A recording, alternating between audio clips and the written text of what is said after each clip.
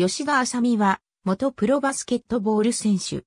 東京都江東区出身で、バスケットボール女子日本リーグ機構の JX、エネオスサンフラワーズに所属していた。コートネームは、竜で、ポジションはガード。東京重則大学中学校、高等学校卒業。元東京日産のバスケットボール選手だった吉田康之を父に、元ジャルラビッツエバラビッキーズの吉田沙織を実施に持つ。中学時代は後に全国中学校バスケットボール大会で優勝した小玉中学校に関東大会で敗れた。2003年4月、姉と同じ東京重則高校に進学し、1年生時からスタメンで出場。3年生時には首相を務め、インターハイと国体で優勝する。3冠がかかった第36回ウィンターカップでは、準々決勝で優勝した中村学園女子高校と対戦するも、大接戦の末に敗れた。くしくもその中村学園女子高には、中学時代に敗れた小玉中の主将である中山あすまがいた。出場3試合の1試合平均スタッツは26.67得点、8.3アシスト、16リバウンド。高校卒業後の2006年、 JOMOに入団。1年目から主力として活躍し、2006から07シーズンルーキーオブザイヤーを受賞。その後も W リーグや皇后杯、全日本バスケットボール選手権大会でチームの優勝に貢献して数多くのタイトルを受賞している。2014年2月、左膝前十字靭帯断裂により W リーグ2013から14シーズン途中で戦線離脱した。2014から15シーズン途中の12月20日、羽田ビッキーズ戦にて復帰を果たした。2019年3月、引退を発表するも、東京オリンピックを目指すため同年9月に撤回。再び JX、エネオスサンフラワーズに所属。2020年5月、JX、エネオスサンフラワーズ退団。2021年1月に現役引退を表明。引退後は東京医療保健大学のアシスタントコーチに就任。東京重則高3年生時の2005年、東アジア競技大会に出場するバスケットボール女子日本代表に高校生で唯一選出された。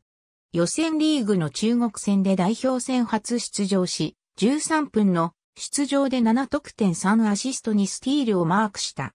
2006年、U-20 アジア選手権で準優勝し U-21 世界選手権出場権を獲得。ドーハアジア大会で銅メダルを獲得した。2007年6月、アジア選手権で銅メダルを獲得。U-21 代表として U-21 世界選手権に出場し1試合平均15.6得点、7.1リバウンド、4アシストの活躍を見せた。2008年6月、北京オリンピック世界最終予選に出場するも、出場権は得られなかった。2009年より代表の主力選手となり9月のアジア選手権では7試合に出場し、銅メダルを獲得した。1試合平均29分の出場で6.6得点、7.7リバウンド、3.3アシスト。リバウンド数はランキング1位である。2010年9月の世界選手権では8試合に出場し試合平均36分の出場で4得点、8.1リバウンド、4.6アシストを記録し、アシスト王を獲得した。11月の広州アジア大会で銅メダルを獲得している。2011年8月のアジア選手権では5試合に出場したが予選ラウンド3戦目の韓国戦で負傷し、予選の残り2試合を欠場、決勝トーナメントの2試合は出場した。1試合平均では27分出場し4.4得点、4.2リバウンド、4.2アシストを記録して、アシスト数で1位を獲得した。2012年6月、ロンドンオリンピック世界最終予選では5試合で4.8得点、3.6リバウンド、7.2アシストの活躍を見せたが、出場権獲得はならなかった。2013年10月、アジア選手権で7試合に出場し、日本43年ぶりの金メダル獲得に貢献。1試合平均26分の出場で7.3得点、2リバウンド、4.4アシストの活躍で大会ベスト5に選出された。決勝の韓国戦では37分出場して9得点、6アシスト、4スティールを記録した。2014年は W リーグで負った負傷により代表活動に参加することができず、2014年世界選手権にも出場できなかった。2015年は2年ぶりに日本代表に復帰、8月から9月にかけて中国の武漢で開催されたアジア選手権に出場。予選リーグの中国戦では試合残り3秒に逆転シュートを決めて57から56の勝利に貢献した。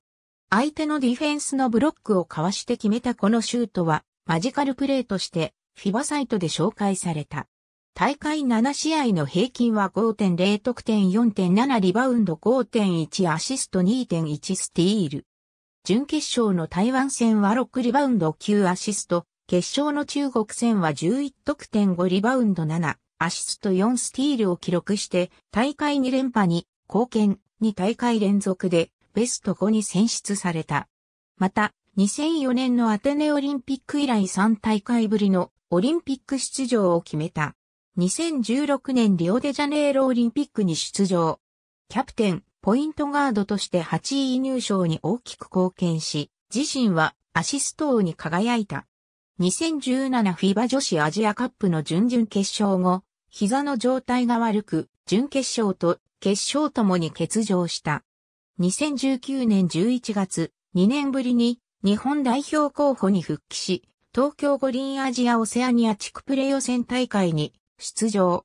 2020年も日本代表に選出され、FIBA 東京五輪予選大会に出場。ありがとうございます。